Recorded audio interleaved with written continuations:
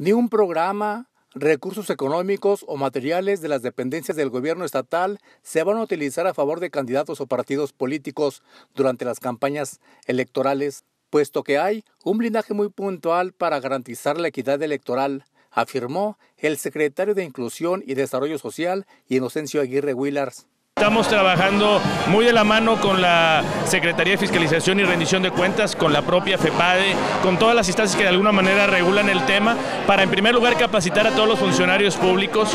Cada funcionario va a firmar una responsiva en donde manifieste que está enterado de cuáles son sus obligaciones y cuáles son también sus derechos como ciudadano durante este proceso electoral, en donde notifica que ya recibió la capacitación y que conoce al pie de la letra que precisamente lo que debemos de cuidar es que el gasto social no interfiera de ninguna manera en el proceso electoral, es decir, que la decisión sea libre en cuanto a la elección de quien se vaya a elegir y que el gasto social no tenga ninguna interferencia en este tema. Las sanciones para los funcionarios que no acaten la ley, dijo que son suspensiones temporales o definitivas e incluso pueden incurrir en delitos electorales. Con imágenes de Eduardo Medina para RCG informó Eduardo Hernández.